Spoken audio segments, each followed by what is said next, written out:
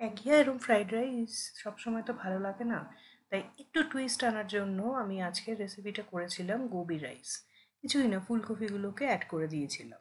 তো এখন এইভাবে তারপর প্রেজেন্টেশন করলে দেখবে যে কোনো খাওয়ার মানে খিদেটা দ্বিগুণ বেড়ে যায়। তো আমি সুদীপ্তা আর আমার চ্যানেল হ্যাপি সোয়াগে তোমাদের সবাইকে স্বাগত। দেখো আমি এখানে সুন্দরভাবে রং বেরঙে সবজি কেটে রেখে দিয়েছি। গাজরগুলো এরকম স্কোয়ার করে কেটেছিলাম একটু ডিজাইন করার জন্য। আর বিনসগুলোকে ঠিক রেস্টুরেন্টে যেরকম হাফভাবে মানে তেরচাভাবে কাটে, ওইভাবে কেটেছি। একটু বেশি করে রসুন রেখেছি, আদা আর অনেকটা পরিমাণে ফুলকপি। আর একটুখানি কাঁচা লঙ্কা আর আমার কাছে একটু মটরশুঁটি ছিল। তোমরা যদি এছাড়া অন্য কোনো ভেজিটেবল দিতে চাও, সেটাও দিতে পারো। এবার কি করব? এবার ফুলকপিগুলোকে আমি দেখো একটা পাত্রের মধ্যে একটু জল নিয়ে নিয়েছি। আর নিয়েছি এক টেবিল স্পুন নুন। এবার একটা একটা করে ফুলকপি এর মধ্যে দিয়ে আমি একটু ভাপিয়ে নেব। এতে কি হবে, যদিও আমি ধুয়ে কেটেছি বাট তাও যদি কোনো পোকামাকড় থাকে, তাহলে সেটা বেরিয়ে আসবে আর ফুলকপিগুলো একটু সেদ্ধ হয়ে যাবে। তাহলে কি হবে, ভাজলে পরে জিনিসটা আরও ক্রিস্পিয়ার হয়ে যাবে। তো এবার এগুলোকে একটুখানি সেদ্ধ হোক। সেদ্ধ হয়ে যাওয়ার পর আমি জল থেকে তুলে এবার একটা পাত্রে নিয়ে আমি এর মধ্যে ফার্স্ট দিয়ে দিলাম অল্প একটু চিলি ফ্লেক্স যদি তোমরা না চাও স্কিপ করতেই পারো। তারপরে দিলাম একটু কালার আনার জন্য রেড কাশ্মীরি মির্চ পাউডার আর তারপরে অ্যাড করছি পরিমাণ মতন নুন। নুনটা একটু বুঝে দিও, কারণ সব প্রতিটা স্টেপেই নুন পড়বে। আর এক টেবিল স্পুন মতন আমি এখানে অ্যাড করলাম বেসন। তোমরা এখানে চালের গুঁড়ি আর ইউজ করতে পারো। তারপরে দেখো আমি এইভাবে নাক নাড়িয়ে নাড়িয়ে বাটিটাকে সব কটা কফিকে ইকুয়ালিভাবে বেসনটার সাথে মাখিয়ে নিলাম আগে এরম করে নিলাম, তারপর যেটুকু এক্সেস ছিল সেটাকে হাত দিয়ে ভালো করে এরমভাবে মেখে নিলাম। আমি কিন্তু এটার মধ্যে এক ফোঁটাও জল ইউজ করিনি। জল ছাড়াই আমি এভাবে শুকনো করেই মেখে নিয়েছি। এবার ছাকা তেলে কফিগুলোকে ভালোভাবে ভেজে নিতে হবে।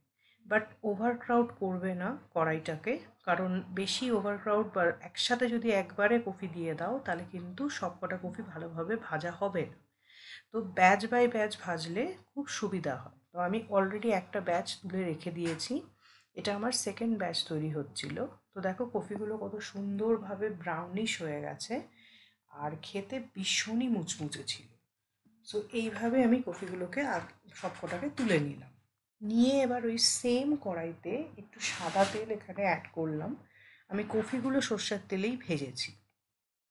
এবার সাদা তেল অ্যাড করার পর আমি এর মধ্যে এক এক করে কেটে রাখা রসুন প্রথমে দিয়ে দিচ্ছি। বেশি করে রসুন দিয়েছি এখানে। তারপরে অ্যাড করব আদা কুচি। তারপর আমি অ্যাড করছি এখানে বিনস দেখো সবকটাই একসাথেই দিয়ে দিচ্ছি। কিন্তু খেয়াল রাখতে হবে ভাজাগুলো যেন বেশি নেতিয়ে না যায়। মানে বেশিক্ষণ ধরে যেন না ভাজা হয়। দেখবে আমাদের রেস্টুরেন্টে যখন আমরা ফ্রাইড রাইস খাই, একটু কচকচে থাকে। সো ওই টেক্সচারটাকে আনতে গেলে আগে তেলটাকে একদম আমি দেখো এখানে হাই হিটে রেখেছি। মানে হাই ফ্লেমে কিন্তু গ্যাসটা আমার আছে। তারপর ওই হাই ফ্লেমে রেখে এইভাবে নাড়িয়ে চাড়িয়ে নিতে হবে। আমি এখানে এক থেকে দু মিনিট মতন নাড়িয়ে চাড়িয়ে নিয়েছিলাম। তাতে কি হয়েছে দেখো, সবজিগুলো মোটামুটি সেদ্ধ হয়ে গেছে আর নেতিয়েও যায়নি।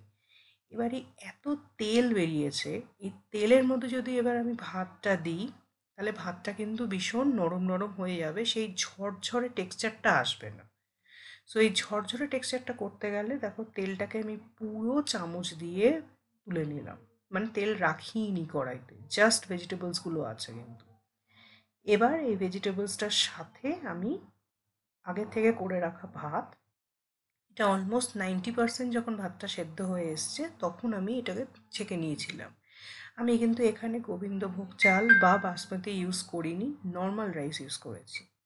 তারপরে এখানে দিয়ে দিলাম এক টেবিল স্পুন মতন গোলমরিচ, এক টেবিল স্পুন মতন সোয়া সস কালারটাকে আনার জন্য তারপরে এটা হালকা হাতে এইভাবে নাড়াচাড়া করে প্রতিটা ভাতের সাথে মিক্স করে নিতে হবে। তারপরে যে ভেজে রাখা কফিগুলো রেখেছিলাম, সেগুলোকে উপর দিয়ে আমি দিয়ে দিচ্ছি।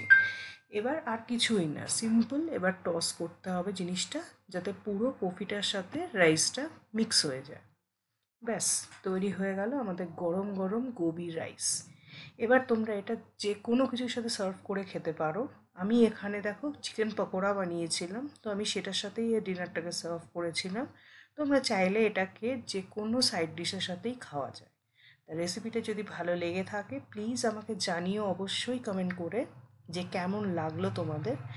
দেখা হবে খুব শীঘ্রই একটা নতুন রেসিপি